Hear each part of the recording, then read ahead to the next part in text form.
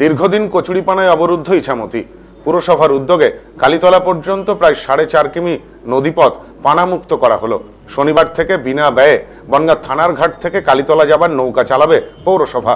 পৌরসভার এই সিদ্ধান্তে খুশি স্থানীয়রা। দীর্ঘদিন কচুরিপানায় অবরুদ্ধ ইছামতি নদী। পুরসভার উদ্যোগে কালোপুর পঞ্চায়েতের সহযোগিতায় সাতভাই কালীতলা মন্দির পর্যন্ত ইছামতি নদী বক্ষ থেকে সরানো হলো কচুরিপানা।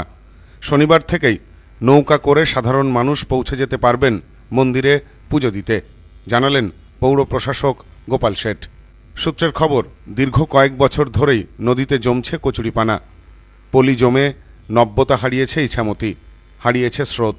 সরকারিভাবে এর আগে বেশ কয়েক দফায় নদী সংস্কারের কাজ হলেও তা নিয়ে বিস্তর অভিযোগ রয়েছে নদীপাড়ের বাসিন্দাদের। ফি বছর বর্ষার সময় স্বাভাবিকভাবেই প্লাবিত হচ্ছেন নদীপাড়ের বাসিন্দারা।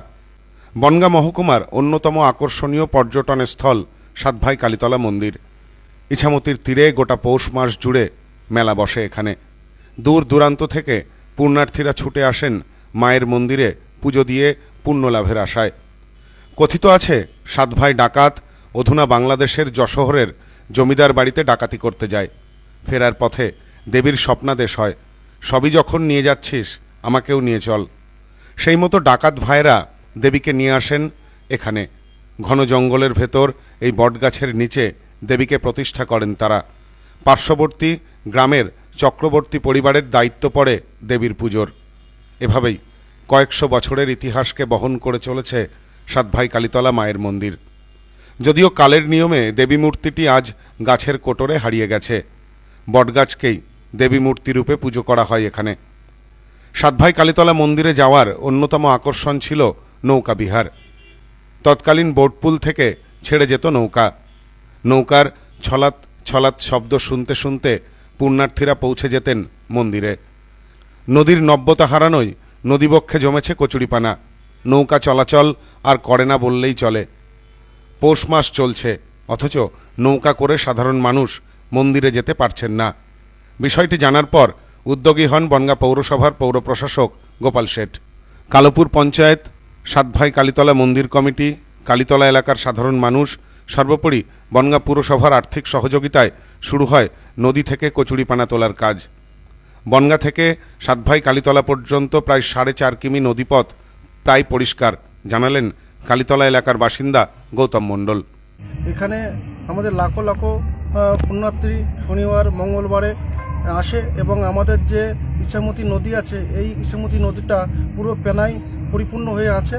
কিন্তু আমাদের বনগাঁর পৌর প্রশাসক গোপাল শেঠের ছ- সহযোগিতায় এবং আমাদের এলাকার মানুষের সহযোগিতায় আমরা এই কচুরিপানা কয়েকদিন ব্যাপী আমরা পরিষ্কার করে চলেছি। এ বিষয়ে পৌর প্রশাসক জানান, শনিবার থেকে কালীতলা যাবার জন্যে বনগা থানার ঘাট থেকে বিনামূল্যে নৌকা ও বোটের ব্যবস্থা করেছে পুরসভা। স্বাভাবিকভাবেই থানার ঘাট থেকে ফের পৌঁছে যাওয়া যাবে নৌকা পথে কালীতলা মন্দিরে। এই খবরে স্বভাবতই খুশি স্থানীয় সাধারণ মানুষ। আমাদের বনগাঁর সর্ববৃহৎ এই মেলা, পৌষ মেলা হয়। যেমন গঙ্গাসাগর মেলা হয়, তেমন হচ্ছে আমাদের এখানকার উদ্দীপনা হচ্ছে আমাদের সাতবাই সাতবাইকলিতলার পৌষ মেলা। আমি প্রশাসনিক দায়িত্ব নেওয়ার পরে আমাদের আমাদের যারা সহকর্মীরা আছে তাদেরকে সঙ্গে নিয়ে আমরা এটা বারবার দেখি। ইচ্ছামতিকে ঘিরেই সাতবাই সাতবাইকালীতলার উৎসবের একটা আঙিনা হয়।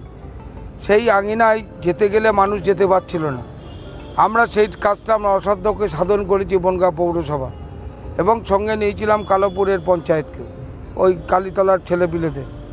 নিয়ে আমরা আজকে সেই জায়গাটা সম্পূর্ণভাবে পরিষ্কার হয়েছে এবং আমরা আগামীকাল থেকে, শনিবার থেকে আমরা এখান থেকে নৌকার মাধ্যমে সেই মানুষগুলো বিনা পয়সায় যারা যেতে যাবে তাদেরকে পাঠানোর ব্যবস্থা করা হবে, পৌরসভা এটা নিয়েছে, দায়িত্ব। সভ্যসাচী ভট্টাচার্য ও সোম দাসের রিপোর্ট, নিউজ নোম্যান্সল্যান্ড বনগা।